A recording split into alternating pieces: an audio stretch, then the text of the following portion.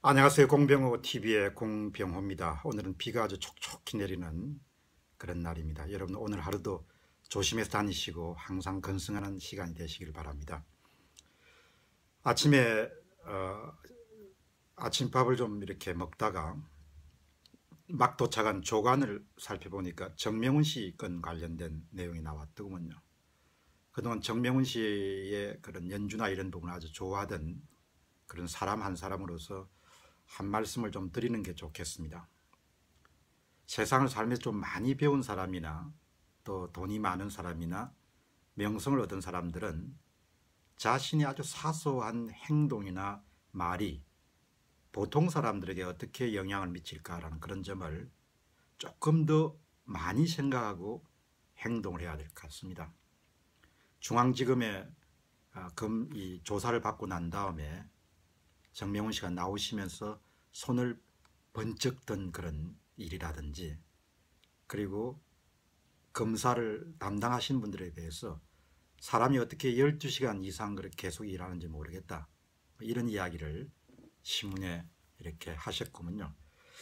뭐 기자분들이 꼭 그 부분만 이렇게 떼서 이야기를 했기 때문에 오해를 살 수가 있지만 사실 이번 사건을 보면서 저는 그분이 뭐 세계적인 명성을 가졌거나 아니면 대단한 부작은 관계없이 민주주의는 기본적으로 모든 사람은 법 앞에 평등하다는 그런 원칙 하에서 운영되는 체제라고 봅니다.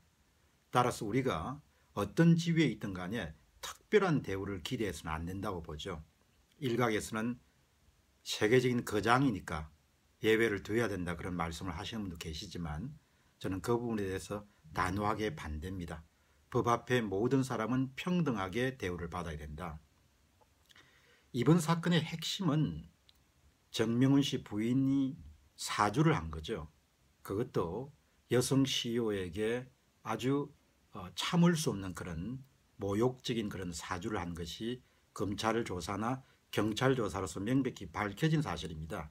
그렇다면 정명훈 씨가 들어오시기 이전에 부인이 들어와서 조사를 먼저 받는 것이 전후 사정을 보면 올바른 일이라고 봅니다. 그러나 부인은 미국 시민권을 가졌기 때문에 출국 금지가 내리기 전에 외국으로 나갔고 그 반드시 범법 상황이죠.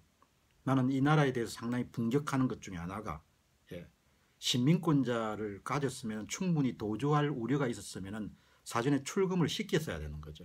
예.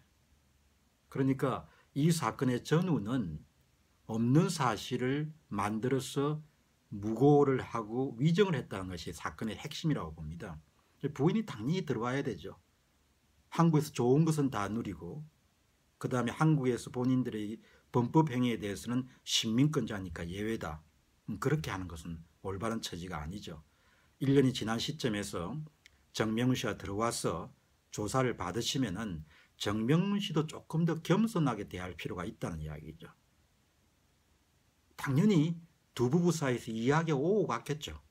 물론 어느 정도 오고 간 것은 제가 이해를 할 수가 없습니다. 정확하게 확인을 한 바가 없으니까.